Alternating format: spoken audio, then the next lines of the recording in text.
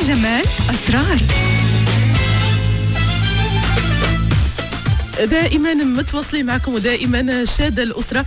وصلنا لواحد الفقره اللي كيعجب تتعجب بزاف ديال البنات وديال السيدات. والرجال على شلة وهند وعائشة.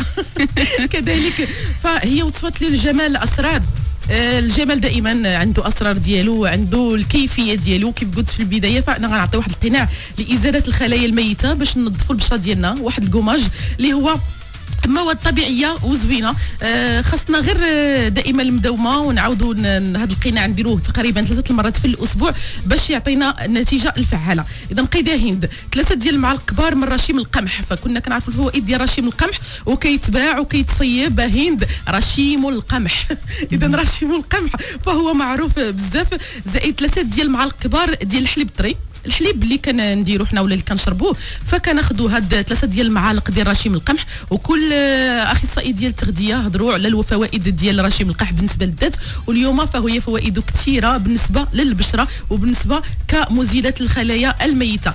إذا كناخذ واحد زليفه اللي هي صغيرة كنعملوا فيها ثلاثة ديال المعالق كبار من رشيم القمح ثم كنضيفوا لهم ثلاثة ديال المعالق كبار من الحليب الطري. الطريقة كيفاش؟ كنخلطوا هاد المكونات مزيان. حتى كتولي عندنا تقريبا بحال شي عجينة وكنحاولوا نفردوها على الوجه ديالنا. ملي كنفردوها على الوجه ديالنا كنخليوها تقريبا المدة ديال 10 ديال الدقائق أو لا 6 يعني على حسب كاين اللي كيجمد له الخليط على الوجه ديالو دغيا كاين اللي كيتعطل. بالنسبة إلا كانت البشرة ديالو دهنية.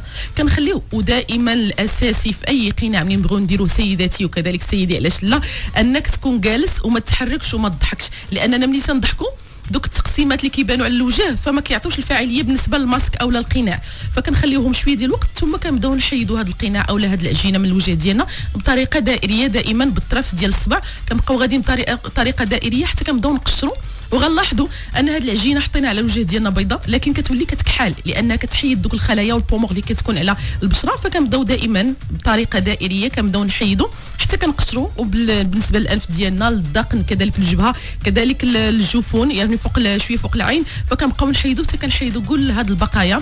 من بعد فإحنا كناخذوا واحد القطعة ديال القطن اللي كنفزقوها بشوية ديال المورد علاش المورد لأنه كيخلي واحد الريحة زوينة في الوجه ديالنا وكينقيها بشكل ممتاز. كنبداو نمسحوا الوجه ديالنا مزيان بهذه القطعة ديال القطن ثم كنشلوا الوجه ديالنا بالماء الدافي.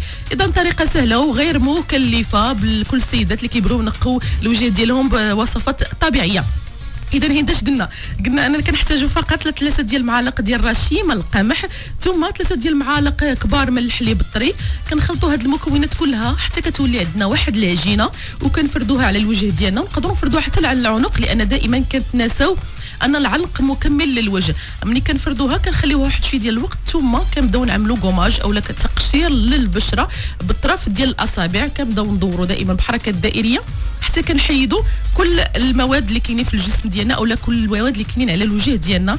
ثم كنمسحوا بالقطن اللي كيكون في الزق بالماء الورد من بعد فاحنا كنمسحوا كذلك بالماء الدافي. ومن بعد كيمكن لنا نعملوا أي كريم نهاري أو ليلي. على حسب الوصفة إمتى عملتيها سيداتي. وأكيد النتيجة غتكون فعالة. إلى استمريتي وعملتي هذا الكوماج كل ثلاث أيام. وللإشارة الوجه خاص يكون شوية ما نقيش باش تعطيك النتيجة الفعالة. إذا كانت هذه وصفتي اليوم من الجمال أسرار أكيد غنمشيو للفقرة الثانية الأمازيغية ونشوفوا الوصفة اللي غتعطينا عائشة. للجمال أسرار.